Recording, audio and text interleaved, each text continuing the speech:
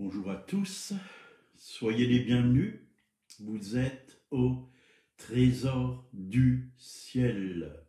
Dieu veut nous communiquer encore aujourd'hui son trésor. Il est notre trésor. Nous avons besoin de lui. Il est notre richesse, notre sagesse. Nous l'aimons. Il nous aime. Oui. C'est lui qui nous a aimés le premier. Voilà. Bonjour Bernard. Sois béni, toi et toute ta famille. Que cette journée soit une journée de victoire pour toi. Que tu puisses avoir du travail et tout ce dont tu as besoin. Dieu t'aime. Luigi Neri. Bonjour Luigi. Bienvenue à ce live au trésor du ciel. Il y a des trésors pour toi encore aujourd'hui. Dieu a de bonnes choses pour toi qui puissent te communiquer la santé dont tu as besoin. Il t'aime. Voilà, nous allons commencer cette émission, Les trésors du ciel. On va prier. Seigneur, merci. Tu es vivant. Tu es parmi nous. Tu règnes. Tu règnes dans le ciel. Tu es assis à la droite de Dieu. Oui, la droite de la puissance. Et encore aujourd'hui, tu règnes, oui, dans le ciel, mais aussi sur la terre et sous la terre, parce que tout pouvoir t'a été donné. Mais aussi, tu nous as donné, oui, le pouvoir, oui, l'autorité. Tu as dit, je vous ai donné le pouvoir de marcher sur les serpents et les scorpions et sur toute la puissance de l'ennemi, et que rien ne pourra nous nuire. Cette journée, Seigneur, nous voulons proclamer que rien ne pourra nous nuire parce que nous avons en toi l'autorité, la victoire. Oui, tu as tout accompli pour nous. Louange, gloire, honneur à toi au nom de Jésus. Amen. Voilà que Dieu ouvre maintenant nos yeux spirituels, nos cœurs, que nous puissions recevoir la semence divine, que nous soyons vraiment éclairés par lui guidé par lui, guidé par son esprit. Alors on va prendre euh, donc euh, Romains 8, verset 30, hein. donc le thème participer à la gloire du Christ. Voilà, Dieu nous fait participer à la gloire du Christ. Beaucoup de personnes et de croyants en Jésus ne sont pas conscients qu'ils participent à la gloire du Christ. Jésus est à la droite du Père. Il est ressuscité. Il est dans la gloire. Il est dans la gloire. Il habite dans la gloire. Mais il nous fait participer aussi à sa gloire. L'Esprit de Dieu est l'Esprit de gloire. Et cette gloire en nous veut se manifester au travers de nous, chaque jour, chaque jour, à chaque instant. Mais nous devons être connectés à lui. Alléluia. Donc Romains 8, 30, et ceux qu'il a prédestinés, il les a aussi appelés, ceux qu'il a appelés, il les a aussi justifiés, ceux qu'il a justifiés, il les a aussi glorifiés. Amen. Appelés, justifiés, glorifiés. Voilà. Chacun d'entre nous qui avons foi en Jésus, qui sommes nés de nouveau. Dieu nous a appelés, il nous a justifiés au travers du sang de Jésus, mais il nous a aussi glorifiés, c'est-à-dire qu'il nous a donné sa gloire et nous pouvons la manifester. Aujourd'hui, nous sommes participants à la gloire de Christ et nous avons besoin d'avoir vraiment cette révélation qui vient de Dieu les semences de notre ressemblance à Christ sont plantées en nous au moment de notre conversion. C'est-à-dire, quand on est né de nouveau, nous avons déjà reçu dans notre être intérieur, dans notre esprit, cette vie du Christ.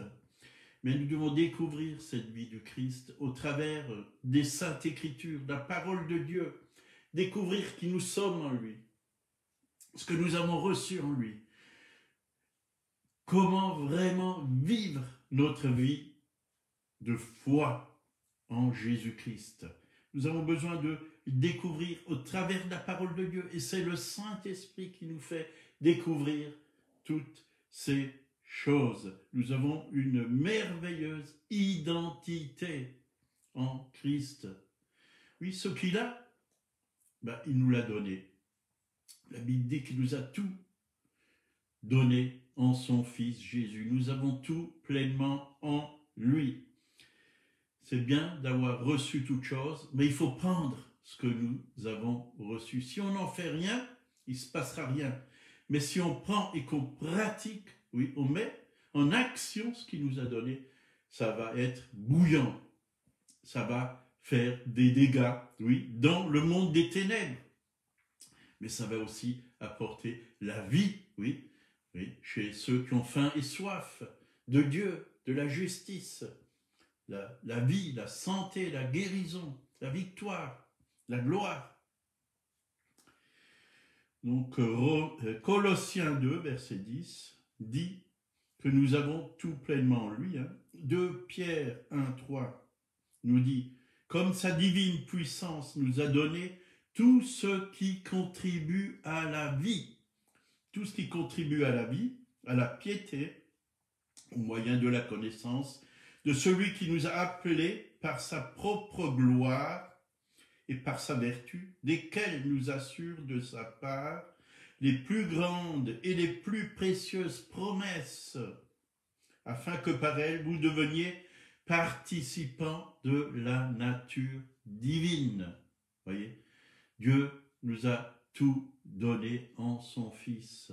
La nature de Christ est en nous, la nature de Dieu est en nous, la nature divine est en nous. Nous sommes participants participants.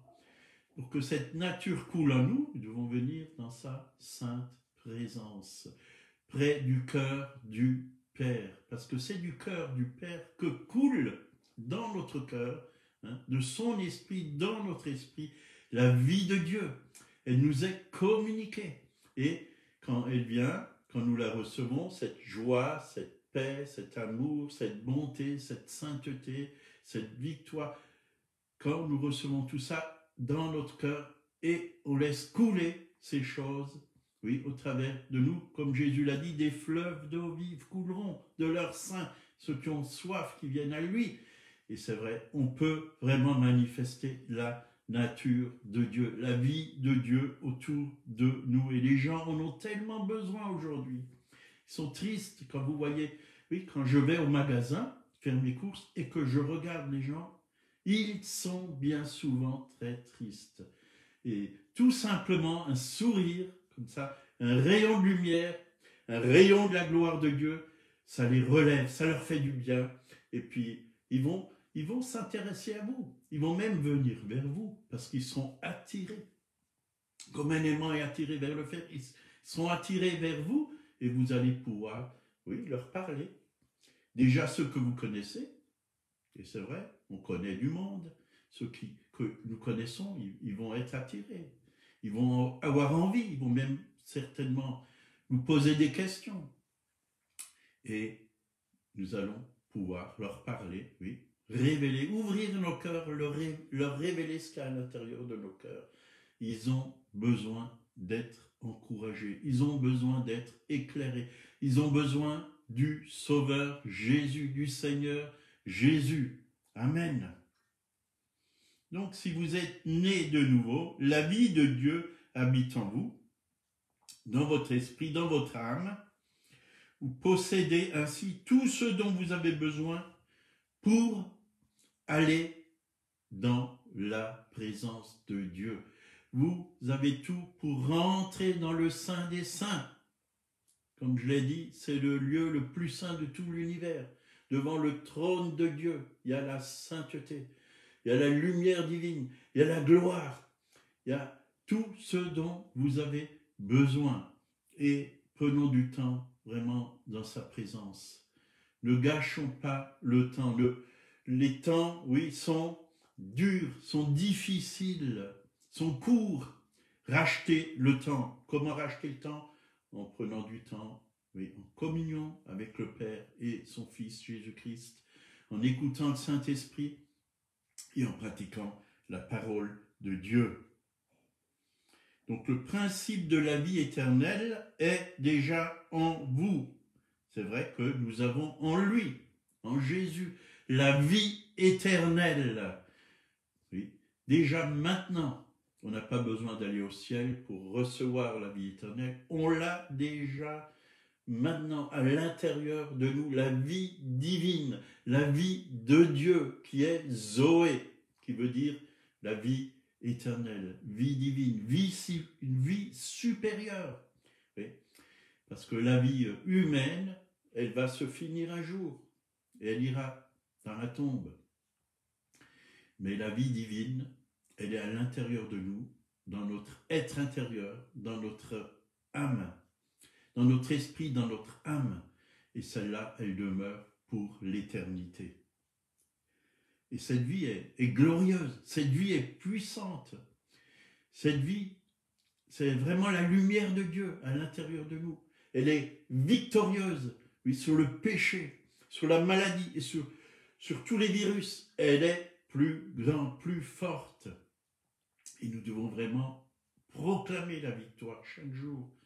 Parce que l'ennemi aimerait nous, toucher dans, dans, notre âme, dans notre corps. Il aimerait nous toucher, mais nous devons résister, résister au diable. Soumettez-vous à Dieu, résistez au diable, et il fuira loin de vous, dit la parole de Dieu.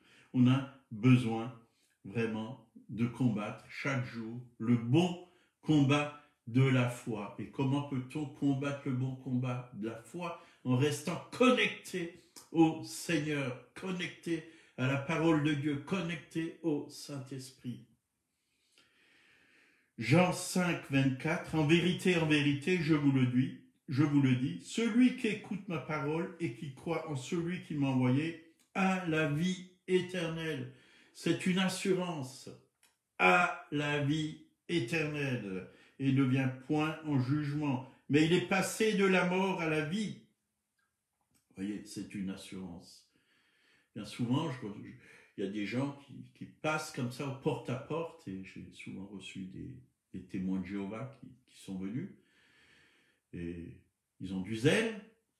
C'est bien d'avoir du zèle, mais si le zèle n'est pas en Dieu, ou il est dans l'erreur, ça ne porte pas un fruit qui est bon. Et la première question que je leur pose, est-ce que vous avez l'assurance du salut, que vous êtes sauvés, est-ce que vous avez la vie éternelle? Et la réponse que je reçois, ah ben ça on peut pas le savoir. Mais si la parole de Dieu est claire, on peut le savoir. Quand on a reçu Jésus, qui est la vie éternelle, nous le savons. Nous le savons nous savons que si nous mourons maintenant, nous allons aller, notre âme va aller au ciel. Parce que nous avons à l'intérieur de nous la vie éternelle. Vous êtes une nouvelle créature ou création. 2 Corinthiens 5, 17. Nous avons une vie nouvelle à l'intérieur de nous. Notre être, oui, l'être nouveau, l'être intérieur, l'homme intérieur a la vie éternel. Cet homme nouveau est glorieux. C'est la vie de Dieu qui est en lui, l'homme spirituel. Et l'homme spirituel, comme dit la parole de Dieu, juge de tout. Oui, il a le droit de juger parce qu'il sait ce qui est bon et ce qui n'est pas bon. Il sait ce qui est juste et ce qui n'est pas juste. Il, connaît ce qui est faux et il connaît ce qui est vrai. Et il marche selon la parole de Dieu et il peut juger. Romains 6, verset 18, nous dit, ayant été affranchis du péché, vous êtes devenus esclaves de la justice. Et au lieu de recevoir le salaire du péché, qui est la mort, vous avez reçu le don de Dieu, qui est la vie éternelle. La vie éternelle. Nous sommes esclaves de la justice. C'est-à-dire que maintenant, on vit dans sa justice. nous avons été déclarés justes, justifiés par le sang de Jésus, esclaves de la justice. La justice, c'est pour qu'on puisse vraiment faire les œuvres qui sont justes. Et c'est que en lui que nous pouvons les faire parce que nous sommes justifiés. Donc vie éternelle signifie la vie abondante, comme nous le dit hein, Jean 10, 10, hein, le voleur ne vient que pour voler, égorger et détruire. Moi, je suis venu afin que les brebis aient la vie et qu'elles soient dans l'abondance. C'est cette abondance de paix, de joie, d'amour, de lumière, de sainteté, de gloire, de victoire que Dieu nous a donné en Jésus-Christ c'est de cela que nous débordons. Tu d'huile ma tête, l'Esprit de Dieu, l'Esprit de gloire, l'Esprit de victoire en nous. Tu d'huile ma tête et ma coupe déborde, déborde. Et comment on déborde? Par la joie, oui, par, la paix, oui, parce qu'on est entouré de, cette paix, on est entouré de cette joie. on reflète Jésus qui est à l'intérieur de nous. Ce n'est plus moi qui vis, c'est Christ qui vit. Tant moi. Alléluia. Les choses anciennes sont passées. Hein. on a lu 2 Corinthiens 5, 17. Si quelqu'un est en Christ, il a une nouvelle création. Les choses anciennes sont passées. Voici toutes choses sont devenues nouvelles. C'est vrai que nous ne réalisons pas que toutes choses sont devenues nouvelles. Nous sommes bien plus conscients du péché qui nous entoure que de la justice oui, que Dieu nous a donnée. Et il faut que cela change dans nos vies. Nous devons être plus conscients que nous sommes justes, que nous sommes purs, que nous sommes libres, que nous sommes bénis, que, que nous sommes vraiment heureux, joyeux, victorieux, ça, c'est la conscience de la justice que être un pauvre pécheur, de ne plus, de ne pas y arriver, oui, euh, d'être dans la faiblesse. Dieu veut transformer en nous ces choses parce que nous avons une vie nouvelle, une nature nouvelle. Nous avons besoin d'apprendre à marcher avec cette vie nouvelle, avec ce que nous avons reçu en Christ. Soyons conscients de la justice, de ce que Dieu a fait dans nos vies. Dieu nous a déclarés justes. Dieu nous a lavés, purifiés, justifiés. Et le Seigneur désire que ces eaux vives coulent de nos cœurs. Romains 8, 30, ceux qu'il a justifiés, il les a aussi glorifiés. Hein, on l'a lu avant. Nous avons été glorifiés en Jésus-Christ. Hébreu 1, verset 3. Jésus-Christ est le rayonnement de la gloire du Père, l'image de sa personne. Il est le rayonnement de la gloire du Père, l'image de sa personne. Nous avons été créés à l'image de Dieu.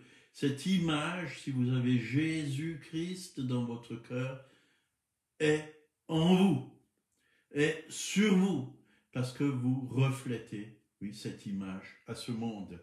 Nous avons été créés pour refléter Dieu, pour glorifier Dieu, pour servir Dieu. Jean 17, verset 22, je leur ai donné la gloire que tu m'as donnée, afin qu'ils soient un, comme nous sommes un.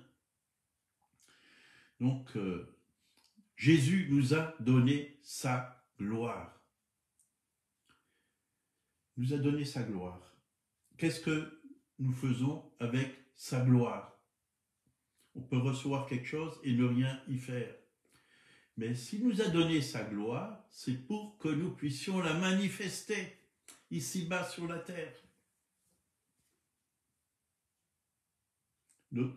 Oui, notre image et l'image de Jésus, hein, nous sommes unis à son image, liés à son image. Nous avons été glorifiés en lui. Il nous a donné sa gloire, qu'il a reçu de son Père. Nous sommes le fruit de la souffrance du Christ. C'est lui qui a souffert pour nous, c'est lui qui a payé pour nous, c'est lui qui nous a tout donné gratuitement. C'est un don, un don parfait, oui, de Dieu. Et là, ça nous parle vraiment de la gloire qui devait suivre ces souffrances. 1 Pierre 1, verset 11, qui attestait d'avance les souffrances de Christ et de la gloire dont elles seraient suivies. Voyez, c'est parce que Christ a souffert pour nous. Christ a vraiment été humilié, a été insulté, on lui a arraché la barbe, on l'a insulté, oui, on l'a humilié, on lui a percé les mains, on lui a percé les pieds, on l'a fouetté, on a percé son côté. Et de tout cela, oui, il est allé dans la tombe, mais il n'est pas resté dans la tombe, il est ressuscité. Il a apparu aux apôtres et à 500 frères comme il est écrit dans la parole de Dieu, mais il n'est pas resté en bas sur cette terre. Il a, il est monté et il a été glorifié dans le ciel. Il a vraiment été glorifié. Et il a envoyé cet esprit de gloire à la Pentecôte. L'esprit de Dieu est un esprit de gloire. L'esprit de Dieu est un esprit de résurrection. L'esprit de Dieu est vraiment l'esprit de puissance. L'esprit qui manifeste oui, des signes, des prodiges, des miracles. Nous devons savoir qui est l'Esprit de Dieu. Important que nous soyons positionnés en Jésus-Christ. Oui, le mot en Christ hein, se trouve 160 fois dans les épîtres de Paul. En Christ, Jésus signifie celui qui a donné sa vie au Seigneur, hein, ne, ne vit et ne n'agit que dans la sphère du Christ. parce que nous sommes en lui, il est en nous, nous sommes unis avec Christ. Nous sommes dans un environnement tout neuf, tout nouveau. Nous avons été rachetés, nous avons été mis à part. Nous ne vivons plus dans ce monde de ténèbres. Nous vivons dans le royaume. C'est une autre atmosphère. C'est l'atmosphère de Dieu, c'est l'atmosphère de la gloire, c'est l'atmosphère de joie, de paix, d'amour, de sagesse, de sainteté, de pureté.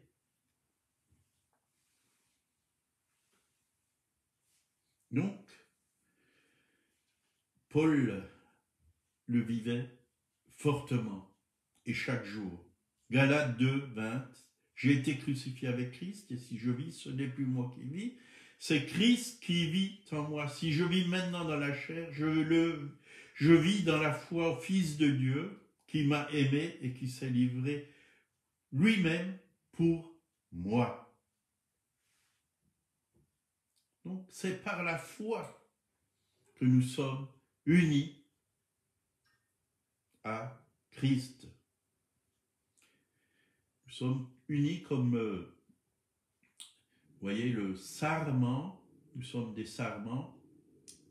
Le sarment est attaché au cep. La vie du cep, la sève du cep coule dans le sarment. Et nous sommes ces sarments. C'est comme ça qu'on peut porter le fruit, le fruit de Dieu, la justice, oui. C'est comme ça qu'on peut aimer, bénir, pardonner, apporter la vie, la vraie vie, celle qui vient du ciel. La sève coule en nous, dans notre être intérieur, mais elle ne reste pas dans notre être intérieur, elle se répand autour de nous. Sa nature se répand autour de nous. Heureux ceux qui procurent la paix. Est-ce que nous procurons la paix? Quand nous voyons les divisions, et si vous êtes dans, dans la paix, vous allez apporter la paix. Je me rappelle toujours, quand j'avais encore mon entreprise de peinture, nous sommes allés travailler, oui, dans une grande entreprise. Et on est arrivé, puisqu'on devait faire des travaux, et on est arrivé avec nos seaux de peinture. Puis les ouvriers, ils ont déposé les seaux de peinture dans un lieu avant de commencer. Puis a quelqu'un qui est venu il a commencé à crier, à, à s'énerver, à se fâcher. Et quand j'ai vu ça, je suis venu avec une telle joie, une telle paix. Il s'est tout de suite calmé. J'ai dit, qu'est-ce qui se passe là? Et il s'est calmé. Je lui ai dit quelques mots gentils. Je lui ai dit, ben, on vient là pour travailler. Où voulez-vous qu'on mette ces pots Et puis voilà, il y a eu une paix. Tous ces insultes, tout cet énervement est parti. Vous voyez, on est là pour changer les atmosphères, apporter l'atmosphère de Dieu, du royaume de Dieu. C'est important que nous puissions vivre, oui, ce que nous avons reçu de Dieu. L'emmener, calmer ceux qui sont vraiment dans la haine. Et j'en ai fait plusieurs de ce genre d'expériences et je pense que vous aussi, vous avez pu faire de ces expériences tout simplement en disant une parole douce ou une parole de sagesse on peut transformer les choses. 1 Pierre 4, 14, si vous êtes outragé pour le nom de Christ, vous êtes heureux parce que l'esprit de gloire de Dieu repose sur vous. Repose, voyez, elle est sur nous. L'esprit de Dieu, l'esprit de gloire repose sur nous. Qui peut résister à l'esprit de gloire? Personne. C'est un esprit puissant. Et là, on va finir avec euh, Étienne, qui était rempli de Dieu, rempli du Saint-Esprit. Étienne, donc, dans Actes des Apôtres, chapitre 6, verset 15, tous ceux qui siégeaient au sang ayant fixé les regards sur Étienne, son visage parut comme celui d'un ange. Voyez son visage parut comme celui d'un ange. Il était agressé, attaqué. Et je pense que vraiment la gloire de Dieu était sur lui. La gloire de Dieu, il rayonnait. Il était lumineux. Elle était sur son visage. Et acte 7, 55, mais Étienne, rempli du Saint-Esprit, fixant les regards vers le ciel, vit la gloire de Dieu et Jésus debout à la droite de Dieu. Et dit, je vois les cieux ouverts et le Fils de l'homme debout à la droite de Dieu. Ils poussèrent alors de grands cris, ceux qui vraiment le persécutaient, en se bouchant les oreilles, et se précipitèrent tous ensemble sur lui, le traînèrent hors de la ville et le lapidèrent. Vous voyez? Ils ont lapidé Étienne. Mais Dieu était là. Dieu s'est levé de son trône pour accueillir Étienne, le premier martyr. Il était accueilli par Dieu lui-même. Mais sur lui, il y avait l'esprit de gloire. Il y avait un rayonnement. Son visage était comme celui d'un ange nous avons vraiment besoin de la gloire de Dieu et surtout de pouvoir diffuser cette gloire autour de nous. C'est le temps de diffuser la gloire de Dieu. On a très peu parlé dans l'Église avec un grand E de la gloire de Dieu, ou peut-être mal parlé de la gloire de Dieu. Même bien souvent, quand on parle de la gloire de Dieu, les gens, ils se méfient, ils n'aiment pas ils ne connaissent pas parce qu'ils n'ont pas creusé la parole de Dieu. Ils n'ont pas cherché dans la parole de Dieu. Qu'est-ce que la gloire de Dieu? Qu'est-ce que Dieu veut pour nous, pour son peuple, pour son Église? Alors, cherchez vraiment le royaume de Dieu et sa justice, et toutes choses vous sont données par-dessus. Voilà, on finit par la prière. Seigneur, merci, ta présence, oui, ton esprit, ton esprit est un esprit de gloire, un esprit de victoire. Tu nous as donné ta gloire, c'est pas pour ne rien faire, mais c'est pour la manifester sur cette terre. Merci Seigneur, oui, de nous donner les occasions de manifester ta gloire. Que toi, tu sois élevé et glorifié dans ce monde. Au nom de Jésus, Amen. Si vous ne connaissez pas le Seigneur, j'ai une bonne nouvelle pour vous.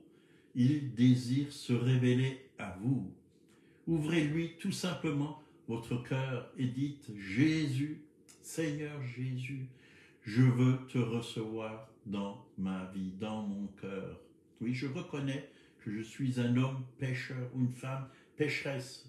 Viens par ton sang me laver, me purifier de tous mes péchés. Je te donne ma vie. Sois mon sauveur, sois mon Seigneur. Et votre vie va être transformée. Parce que Jésus a payé pour vous à la croix. Oui, son sang vous lave, vous purifie de tous vos péchés, veut faire de vous un fils de Dieu, une nouvelle création.